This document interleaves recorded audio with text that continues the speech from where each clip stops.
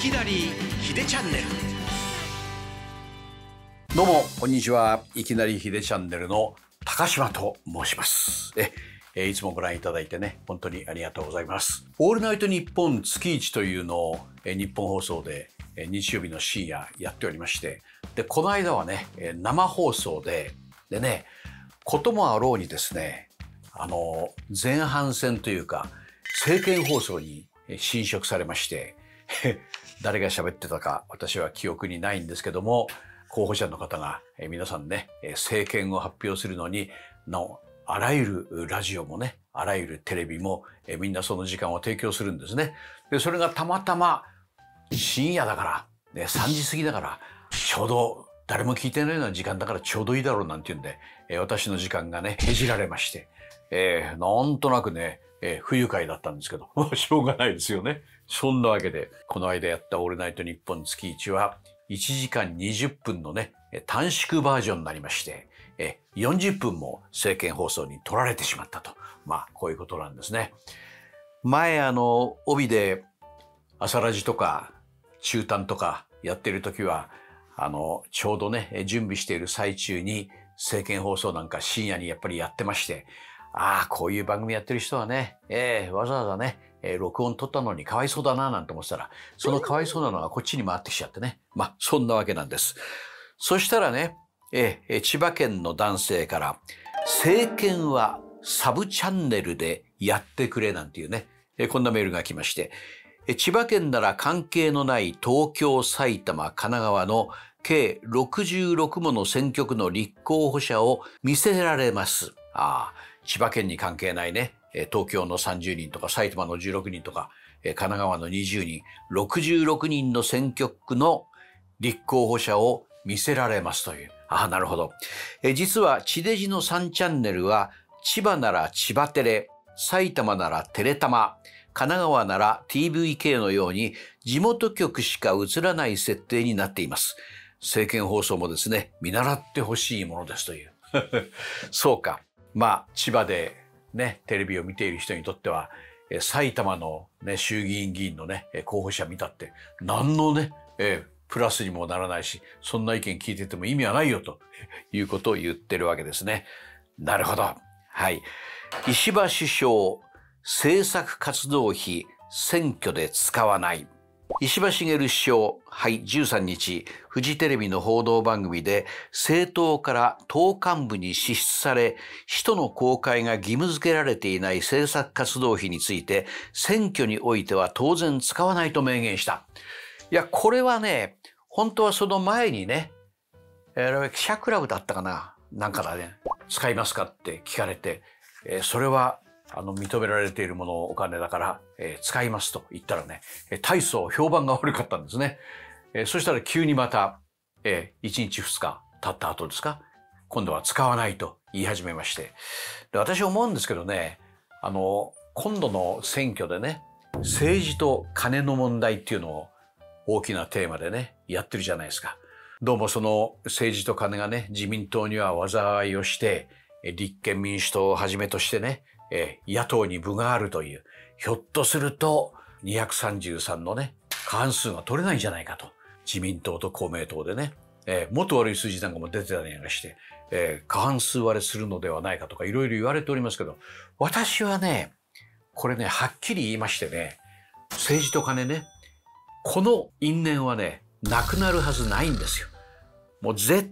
対何らかの方法でね、生き残ると思いますね。敵も去る者、引っかく者、新手新手で何かこうすれば、えー金は残るとかいうことをね、いろいろ考える。だってね、政党助成金、立憲民主党はですね、自民党は160億円もの政党助成金使ってるって言ってますけど、立憲民主党だって使ってるわけですよね。要するに議員が5人以上になればね、えー取れるわけですから。で、そういう政治には金がつきもの、金がかかるというようなことを言いながら、あの時は、ちょうど私ね、朝のニュース番組やってましたですけども、本当ね、調子いいこと言ってましたよ。政党助成金、いわゆる国民一人当たりコーヒー一杯分なんて言って250円。ね。で、それで各政党にね、割り振って、えー政治の、まあ、お金、えー選挙には金がかかる、政治にはお金がかかるから、それを使ってくださいなんつって。そうしたらね、ある議員は言いましたもんね、自民党の議員。もう派閥のパーティー、個人のパーティー、一切やりませんよ、もう。で、企業献金、問題になってる。あれなんかもやめます。もう全部お金はね、政党助成金だけで賄えますからみたいなことを言ったけども、大嘘もいいとこですよね。嘘ばっかりですよ。本当今でもその嘘の血はね、流れていると思うんですね。だって考えてもみてください。政策活動費もそうだけども、あの、いわゆる一人100万円、ね、名前を変えてね、手を変え、品を変えね、いろいろ生き残ってきたね、文通、交通費みたいなやつですけども、あれやって、毎月100万円、ね、どこに払ったかもわからず、何に使ったかもわからず、つかみ金みたいなもので、ね、で、自由に使えると。で、それを今度ね、えー、こうしましょう、ああしましょうって、領収書を出しましょういろんなこと言ってるけど、あんな都合のいいものをですね、やめるわけがない。私、議員だったら、これだけは死守しますね。だって100万円毎月、お小遣いって言ったら怒られるかもしれないけど、国からお金100万もらってね、何に使ったっていいわけですよ。君におごってやったっていいし、ね、彼女にプレゼントしたっていいし、ね、親に仕送りしたっていいし、何に使ったっていいわけで、そういうようなことをね、本当に手を変う品を変えで残してきた政治家たちがですね、なくすわけがない。だから今回は自民党生まれ変わるとかなんか言ってますけど、生まれ変わるはずがない。ね、結局また、え同じようなね、えー、そういうようなことになっていくと思いますよ。お前も随分がっかりすることを言うねと言うかもしれませんけども、本当そう思います。えー、清く正しく美しく公明正大にね、えー、領収書もきちんと揃えて、えー、使ったお金はカクカクしかじかですなんて。んなことやるわけがない。だから今回だって安倍派だけが本当に恨みを買っちゃってね、かなり落選するんじゃないかって言われておりますけども、あれだってね、政倫審とかいろいろやりましたけども、結局誰が言い出してああいうお金をプールして、そして議員に配って、ね。で、安倍さんが、いや、これはやめた方がいいよと言ったようですけども、それを言った後でまたあれを復活させようって誰がやったんだっていうのは未だにわかんないんですよ。ということはね、かばい合ってるわけでしょで、そのお金欲しいわけですよ。ねえ。岸田さんなんて1年間に7回もね、パーティーやったなんつって。まあ、お辞めにはなりましたけども、総理自身がですね、そうやってね、金稼ぎというか、政治資金を稼ぐのがですね、当たり前のよう、普通だったということですよね。で、今回、まあ、記載漏れとか言って、え大きな問題になりましたけども、まあ、検察庁はもうやった話だとか、みんななんとかかんとか言って、えー、二重三重に処分するんじゃないよというようなことを言ってる人もいますけどね、政治と金はつきものでね、絶対になくならないと私は断言します。え、非公認ベテラン候補の恨み節。そうね。自民党は派閥パーティー収入不記載事件について、下村博文、西村、えー、康俊、萩生田光一氏など、ベテラン候補者の非公認を決めた。横浜の太鼓持さん、76歳。今回のね、投票、今度27日でしょ、誰に入れようかなといろいろ考えておりますけども、でもね、重複立候補させないっていう、あの決断はね、私は好きですね。えー、で、落ちる人は小選挙区で落ちりゃ、バタバタ落ちりゃいいんですよ。ね。で、自民党が過半数あれ万万が一。だけどね、野党はね、まとまってないじゃないですか。立憲民主の野田さんがいろいろね、アプローチした。小沢さんともそういう関係で意見が一致した野田さんが立憲民主党の党首に立候補した。いろいろ言われておりますけども、まあなんだかんだ言って小さい政党もですね、やっぱり自分のところを犠牲にするわけにはいかないんでね、えー、結局ね、あのうまくいかないんですね。だから相当追い詰めるかもしれないけれども、議席という点になると、自民党がですね、剣が峰で踏みとどまるっていうことも十分考えられるわけですよね。どうですか？ものすごくね、かわいそうだなと思ったのがこれですよ。JRA 日本中央競馬会藤田七子騎手が引退。スマホ使用をめぐり虚偽の申告で処分を受けるという。あの、根本調教師がね、おっしゃったそうですけども、七子はもう泣いて泣いて、指先が震えて引退届をねなかなか書けなかったと。でね藤田奈々子さんはねデビューしたての時に立東にね僕はあのインタビューに行ってんですよね。ええそれで可愛い子でね小柄でで騎手を目指して頑張るんだって言ってましてずっと応援してきました。であれ今度どこそこ競馬をやるからっつったらその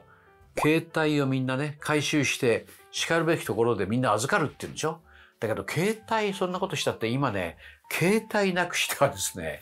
若い人なんか特に生活できないですよ。だから結構長丁場にわたるんでねそのいわゆる何々競馬というのが。だから携帯みんな取り上げちゃうっていうのはねそれはね八百長問題とかお金に絡むんでねこれはもうほんと微妙ですけども。微妙ですけども。私は思った藤田七子さんなんかもっと信じていいんじゃないか。それは携帯使ったかもしれない。厩舎の人と通話したかもしれないけども。ねえ。彼女の顔見てたら、えーそんな悪辣なことをするとは全く思えないし、まあ、そういう性善説はいけないんでしょうかね。絶対ダメだと言っている人もいましたけどね。藤田騎手は昨年4月頃まで複数回にわたり通信が禁じられている調整ルーム内でスマホを使用し外部の3人と LINE でやり取りしていたことが判明。JRA から騎乗停止の処分が発表されていました。その後、藤田騎手は、免許取り消し願い引退届を提出し JRA に受理された。引退は11日付理由は一身上の都合。やめたくないのに爪腹切らされたと。えーということは違反したからということでね、えー規則にね、照らし合わせれば絶対いけなかったんですけども、でもね、結婚したばっかでしょ？ね？新婚さんですよ。それで、いわゆる今まで JRA の PR にですね、どれだけ彼女が貢献したか、なんか救う手立てはなかったんですかね。根本調教師ももっと頑張ってほしかった。で、なんか、その後のニュース聞くと、もう競馬に関するようなね、そういうタレント活動もダメだなんていう、そんな意見まで出てきてましてね。奈々子さんかわいそうですよ。僕あの、取材に行った時に上着を着てたんですね。ええで、それ脱いで、その辺かけて、そのまま置いてきちゃった。で、厩舎に連絡したらね、ちょっと時間がかかりましたけど、送り返してくれたんです。その説はお世話になりまして、ありがとうございました。本当にね。はい、今週もよろしくお願いします。え、明日は朝の吉久さんが登場します。水曜日はお休み、木曜日は小屋の年屋さん。私また金曜日に出てまいります。ではでは、え、また明日。失礼します。